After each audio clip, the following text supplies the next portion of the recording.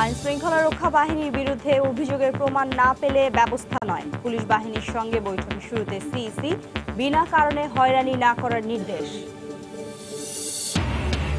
গত দশ বছরে দেশের পরিবর্তনের মূল্যায়ন জনগণকেই করতে হবে। Leather footwear and goods international sourcing show ব্রিস এর উদ্বোধন করে প্রধানমন্ত্রী।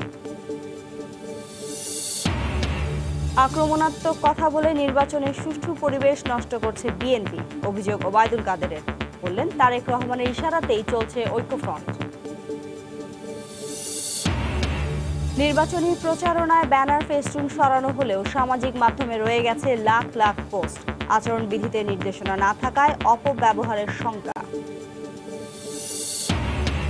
এবং রাজধানীর বিভিন্ন এলাকায় ওয়াসার ভুতুরে বিলে নাজেহাল গ্রাহকরা। অভিযোগ অস্বীকার কর্তৃপক্ষের পদক্ষেপ নিতে হবে সরকারকে, বলছে ভোক্তা অধিকার সংগঠন।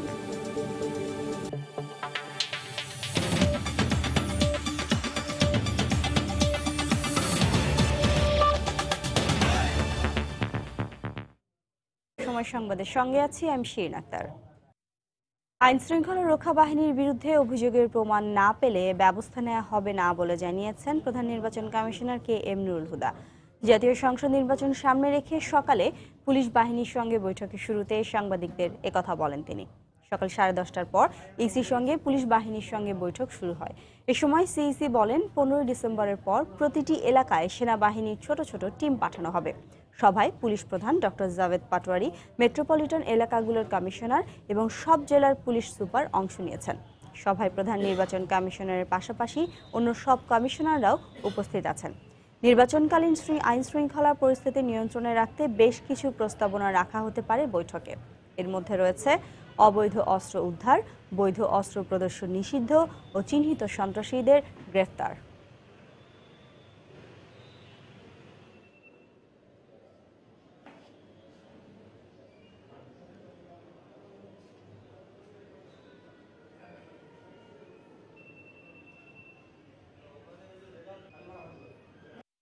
নির্বাচনে সেরকম মনোভাব নিয়ে দেশের জনগণের, জনসাধারণের বৃহত্তম স্বার্থ রক্ষার তাগিদে আপনার দায়িত্ব পালন করবেন এবং সুষ্ঠুভাবে দায়িত্ব পালন করবেন সে প্রত্যাশা আমি করতেই পারি। আপনাদের উপরে আমাদের অনুরোধ, আপনাদের কাছে আমাদের দাবি যে পূর্বে যেভাবে নিজেদের জীবনের ঝুঁকি নিয়ে দায়িত্ব পালন করেছেন, সামনে সেই ব্যাপক উৎসব উদ্দীপক একটা নির্বাচন, একটা যাকে বলা হয় উদ্বেলিত মানুষের নির্বাচনের যে আকাঙ্ক্ষা, এটাকে যাতে আমাদের কারণে কোন রকমের প্রশ্নবিদ্ধ না হয়, সেই অঙ্গীকার প্রত্যয় ব্যক্ত করার জন্য অঙ্গীকারগুলোকে শানিত করার জন্য আপনাদের সাথে এই আয়োজন। এই মুহূর্তে নির্বাচন কমিশন সচিবালয়ে আছেন রিপোর্টার বেলায়েত হোসাইন বিস্তারিত জানতে সরাসরি চলে যাচ্ছি তার কাছে। বেলায়েত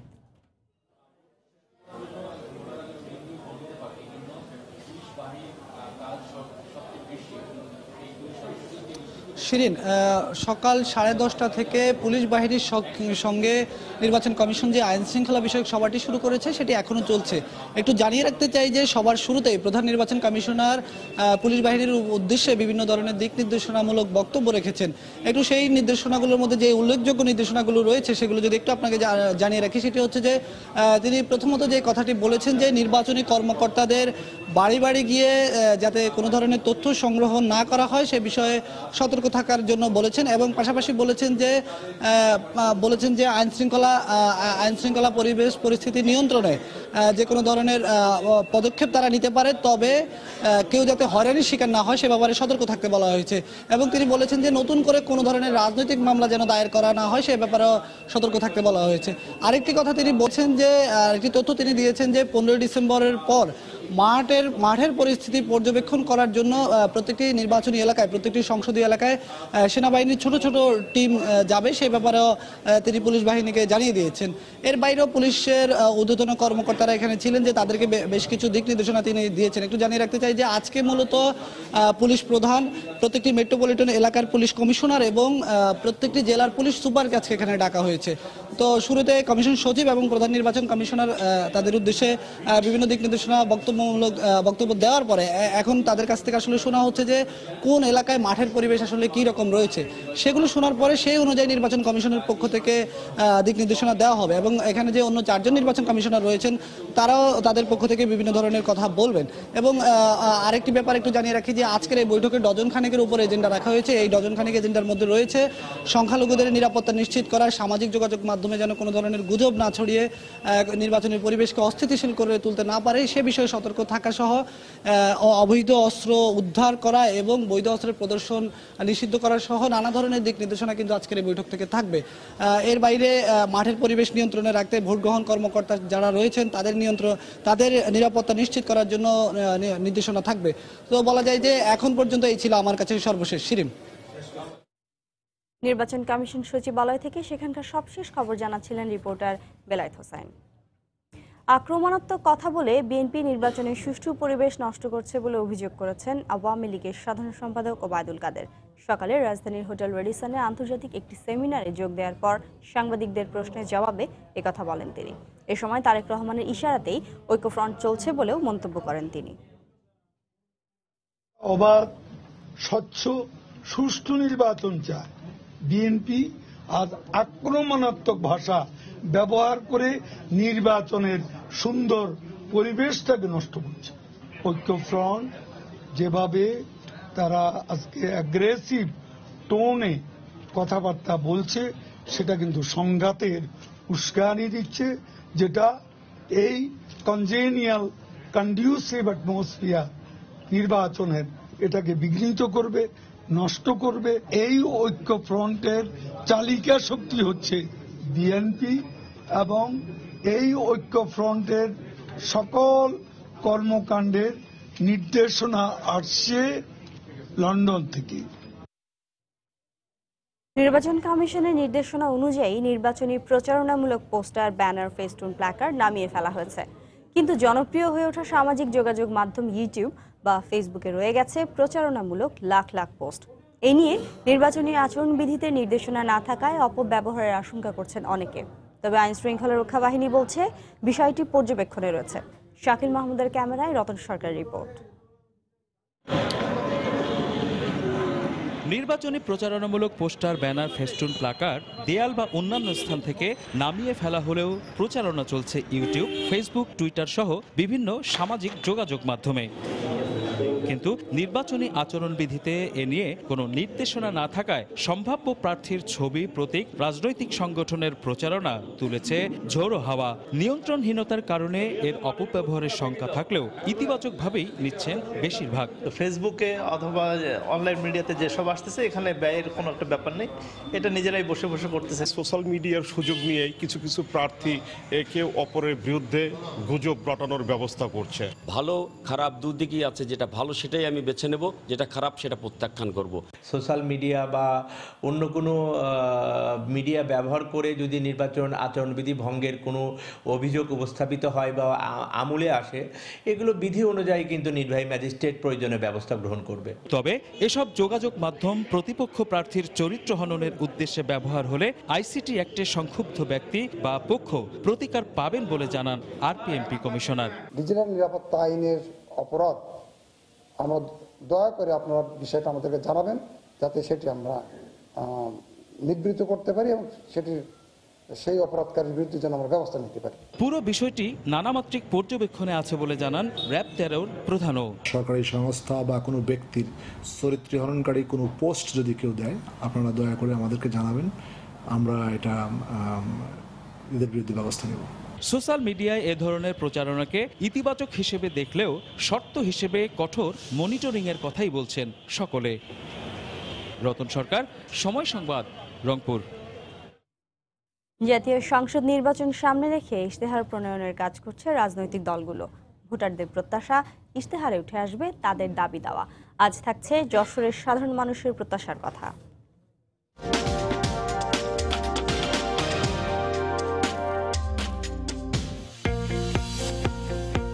আগামী নির্বাচনে যশোরে প্রধান ইস্যু হয়ে দাঁড়াবে অর্থনৈতিক অঞ্চল প্রতিষ্ঠার অঙ্গীকার।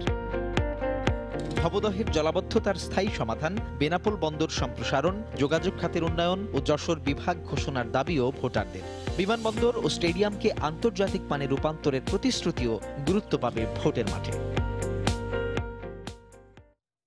সময় সংবাদে আরও থাকছে। নির্বাচন ঘিরে নওগাঁয় জেএমবি সদস্যদের আবারও সংগঠিত হওয়ার আশঙ্কা। প্রশাসনের সহায়তা চান জনপ্রতিনিধিরা। নজরদারির আশ্বাস।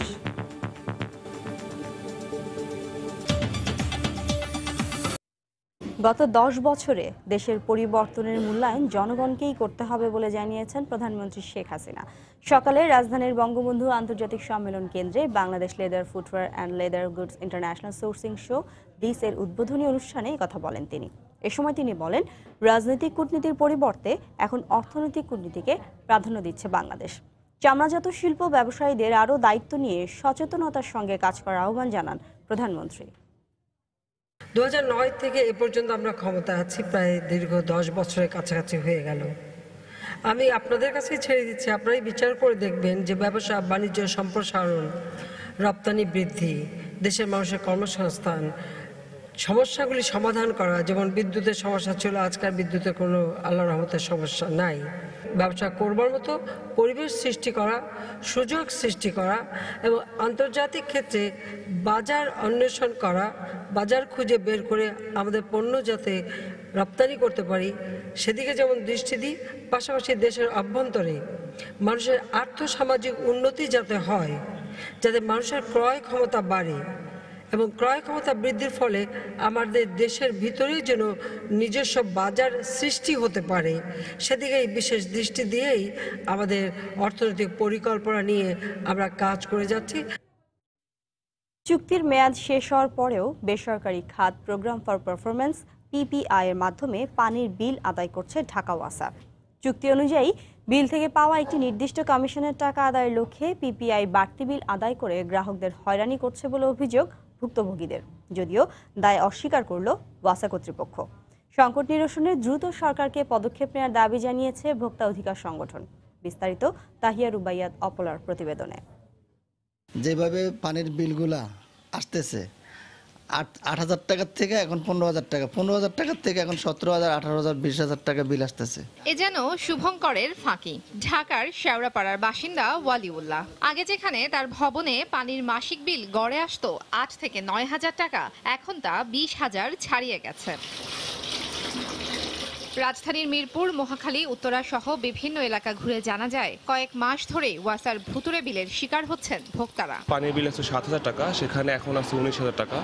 আগে আমাদের আঠাশটা ফ্যামিলি ছিল এখনও সেই আঠাশটা ফ্যামিলি আছে। পানির দর বাড়বে কীভাবে? আমরা যে কয়টা ফ্ল্যাট আছে এই কয়টা ফ্ল্যাট তো ওই ওই ওই- পরিমাণই আছে। এখানে বাড়বে কেন? ওয়াসার সিস্টেম লস কমাতে দুই হাজার নয় সালে রাজস্ব আদায় কার্যক্রম পিপিআই প্রকল্পের আওতায় বেসরকারি খাত ঢাকা ওয়াসা শ্রমিক কর্মচারী ইউনিয়নকে দেয়া হয়। ভোক্তাদের কাছ থেকে আদায় করা অর্থের দশ শতাংশ কমিশন পায় পিপিআই কর্তৃপক্ষ ও ইউনিয়নের সদস্যরা। এরপর থেকেই শুরু হয় ওয়াসার বিল নৈরাজ্য, আর সম্প্রতি তা বেড়ে দাঁড়িয়েছে কয়েক গুণ। এ নিয়ে প্রকাশ হয় সংবাদও। তবে অভিযোগ অস্বীকার করেন ওয়াসা কর্তৃপক্ষ। অসম্ভব, এটা হওয়ার কোনো সুযোগই নেই। বিল বাড়বে কীভাবে? মিটার তো আপনার বাসায়। তা আপনি মিটার দেখতে পারেন না? পিপিআই এর কমিশন বাণিজ্যই এই সংকটের কারণ উল্লেখ করে ভোক্তা অধিকার সংগঠন বলছে দ্রুত একটি নিরপেক্ষ কমিটি গঠন করে ভোক্তাদের দুর্ভোগ নিরসনের উদ্যোগ নিতে হবে সরকারকেই। তাদেরকে বাড়তি সুযোগ দেওয়া হয়েছে দশ পার্সেন্ট কমিশন।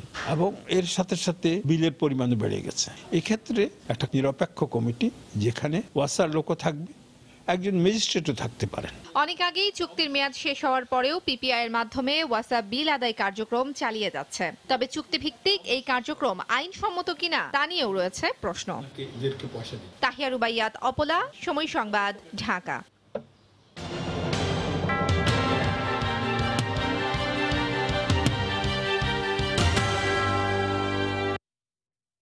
নিষিদ্ধ ঘোষিত জঙ্গি সংগঠন জেএমবি ও সর্বহারা বাহিনীর সদস্যদের মধ্যে জামিনে ও পালিয়ে থাকাদের নিয়ে শঙ্কিত নওগাঁবাসী।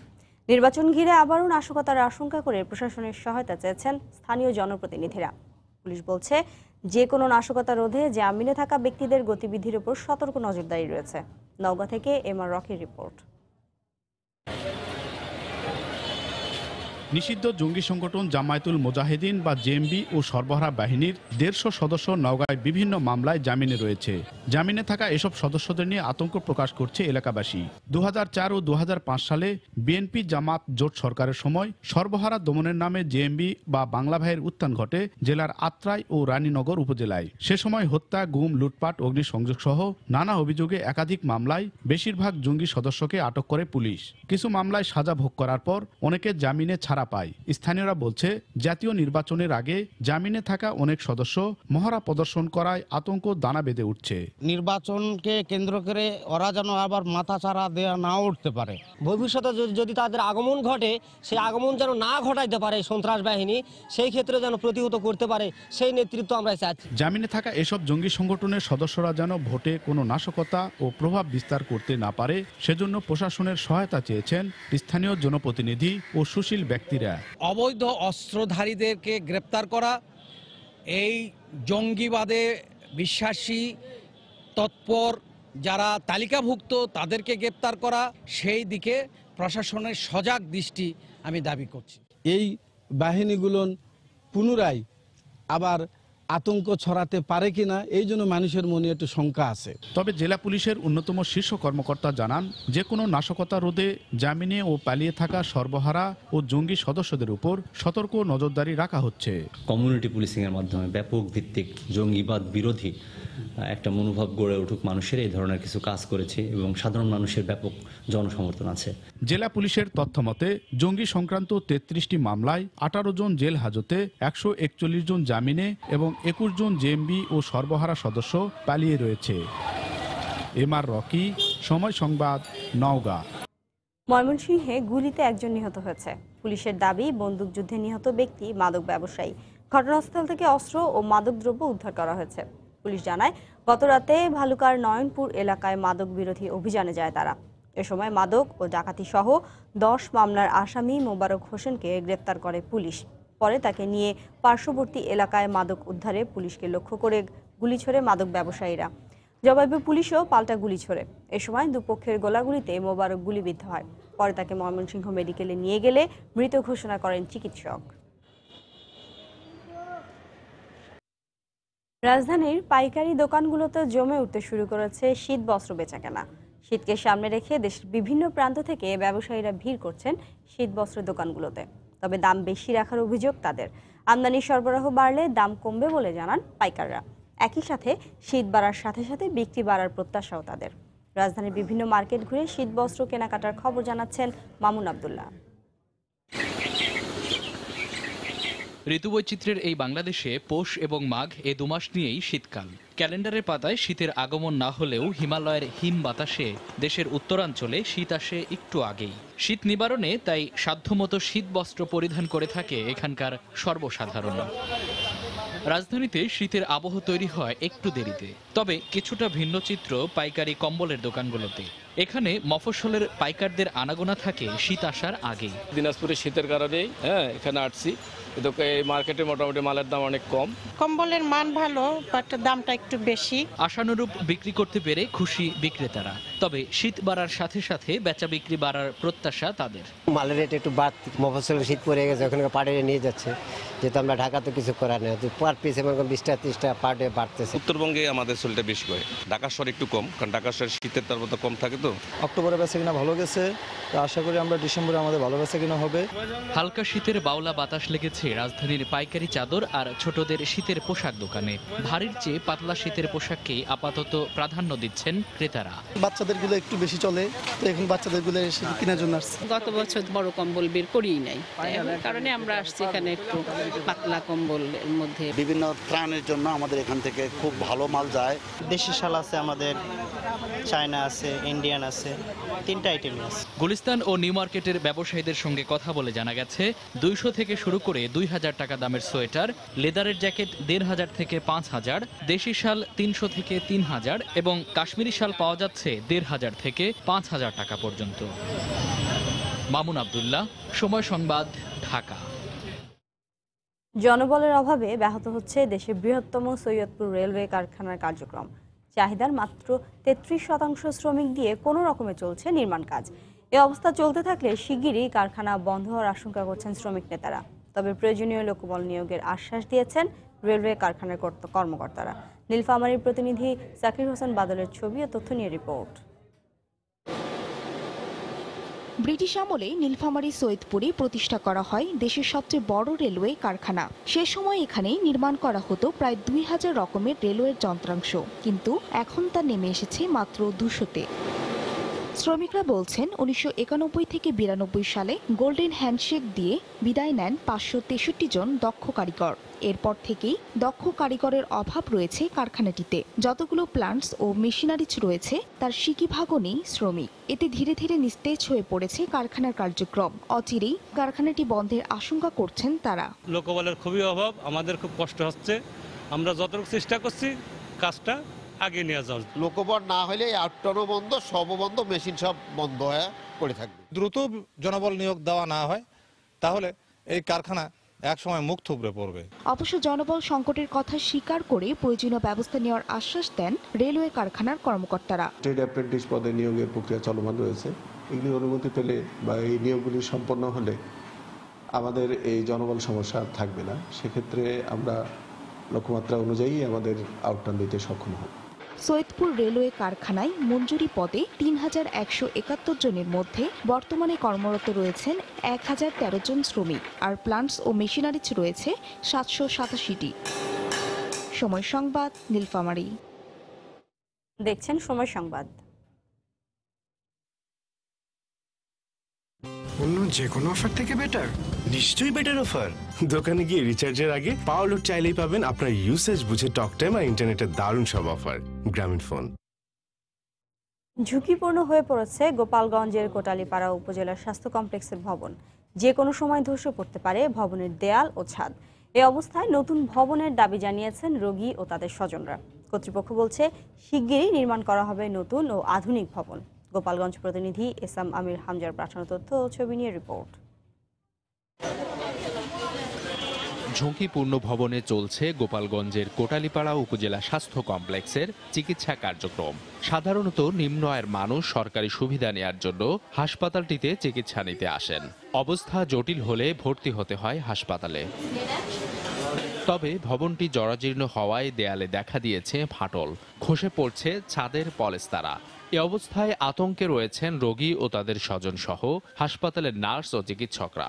যে কোনো সময় ভেঙে পড়ে আমাদের একটা দুর্ঘটনা ঘটতে পারে। ভয় হরে যে এই যে আগলা পড়কেও যাইতে পারে গায়ের পর। কর্তৃপক্ষের নজরে আসা উচিত যে যাতে এই জরাজীর্ণ বিল্ডিংটাকে ঠিক করে বিল্ডিং ভাঙ্গা ধৈসা পড়ছে।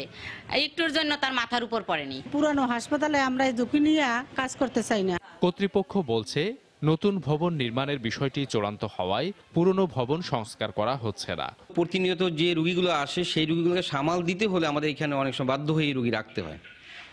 যার জন্য এখন পর্যন্ত ওইভাবে পরিত্যক্ত ঘোষণা করা হয়নি। ইতিমধ্যে টেন্ডার হয়ে গেছে। তাড়াতাড়ি কাজ শুরু হবে। বর্তমান অবস্থায় আমি গেছেন কোটারিপাড়াকে বলেছি যে ওখানে এখন আর কোনো রুগী থাকবে না। কোটালীপাড়া উপজেলার সাড়ে তিন লাখ মানুষের চিকিৎসা সেবায় উনিশশো আটষট্টি সালে একত্রিশ শয্যা বিশিষ্ট হাসপাতালটি নির্মাণ করা হয়। দুই হাজার চৌদ্দ সালে শয্যা সংখ্যা বাড়িয়ে করা হয় পঞ্চাশ। বর্তমানে প্রতিদিন গড়ে দেড় শতাধিক রোগী হাসপাতালটিতে চিকিৎসা নিতে আসেন। সময় সংবাদ, গোপালগঞ্জ। এ পর্যায়ে শীর্ষ সংবাদ জানিয়ে দিচ্ছি আরেকবার। আইন শৃঙ্খলা রক্ষা বাহিনীর বিরুদ্ধে অভিযোগের প্রমাণ না পেলে ব্যবস্থা নয়। পুলিশ বাহিনীর সঙ্গে বৈঠকের শুরুতে সিইসি বিনা কারণে হয়রানি না করার নির্দেশ। গত দশ বছরে দেশের পরিবর্তনের মূল্যায়ন জনগণকেই করতে হবে। Leather footwear and goods international sourcing show dish এর উদ্বোধন করে প্রধানমন্ত্রী। আক্রমণাত্মক কথা বলে নির্বাচনের সুষ্ঠু পরিবেশ নষ্ট করছে বিএনপি, অভিযোগ ওবায়দুল কাদেরের। বললেন, তারেক রহমানের ইশারাতেই চলছে ঐক্যফ্রন্ট। নির্বাচনী প্রচারণার ব্যানার ফেস্টুন সরানো হলেও সামাজিক মাধ্যমে রয়ে গেছে লাখ লাখ পোস্ট। আচরণবিধিতে নির্দেশনা না থাকায় অপব্যবহারের শঙ্কা। এবং রাজধানীর বিভিন্ন এলাকায় ওয়াসার ভুতুরে বিলে নাজেহাল গ্রাহকরা। অভিযোগ অস্বীকার কর্তৃপক্ষের পদক্ষেপ নিতে হবে সরকারকে, বলছে ভোক্তা অধিকার সংগঠন। এই ছিল এখনকার মতো। যে কোনো খবর পেতে ভিজিট করুন সময় নিউজ ডট টিভি। আপনার মোবাইলে সময় সংবাদ দেখতে ও সব খবর পেতে ডাউনলোড করুন সময় অ্যাপ। এছাড়া এই মাত্র পাওয়া খবর মোবাইলে পেতে এস এম এস করুন স্টার স্পেস। বিএন লিখে পাঠিয়ে দিন one six two four two নম্বরে। সঙ্গেই থাকুন সময়।